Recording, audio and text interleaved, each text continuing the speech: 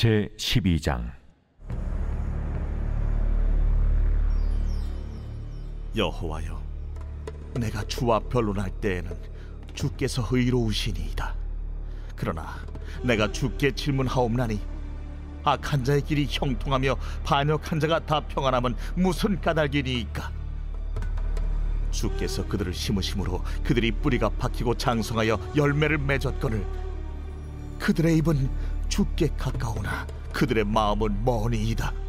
여호와여, 주께서 나를 아시고 나를 보시며 내 마음이 주를 향하여 어떠함을 감찰하시오니 양을 잡으려고 끌어낸 것 같이 그들을 끌어내시되 죽일 날을 위하여 그들을 구별하옵소서 언제까지 이 땅이 슬퍼하며 온 지방의 채소가 마르리이까 짐승과 새들도 멸절하게 되었사오니 이는 이 땅 주민이 악하여 스스로 말하기를 그가 우리의 나중 일을 보지 못하리라 함이니이다. 만일 네가 보행자와 함께 달려도 피곤하면 어찌 능히 말과 경주하겠느냐? 네가 평안한 땅에서는 무사하려니와 요단 강 물이 넘칠 때는 어찌하겠느냐? 내 형제와 아버지의 집이라도 너를 속이며 내 뒤에서 크게 외치나니 그들이 내게 좋은 말을 할지라도 너는 믿지 말지니라 내가 내 집을 버리며 내 소유를 내던져 내 마음으로 사랑하는 것을 그 원수의 손에 넘겼나니 내 소유가 숲속의 사자같이 되어서 나를 향하여 그 소리를 내므로 내가 그를 미워하였음이로라. 내 소유가 내게 대하여는 문이 있는 매가 아니냐?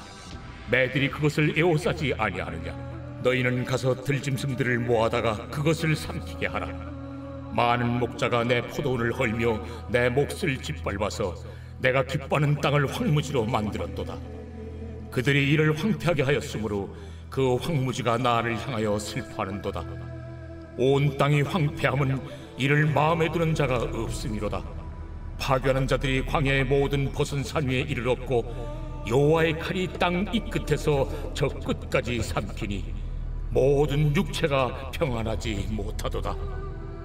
무리가 밀을 심어도 가시를 거두며 수고하여도 소득이 없은즉 그 소산으로 말미암아 스스로 수치를 당하리니 이는 여호와의 분노로 말미암음이니라. 내가 내 백성 이스라엘에게 기업으로 준 소유에 손을 대는 나의 모든 악한 이웃에 대하여 여호와께서 이와 같이 말씀하시니라.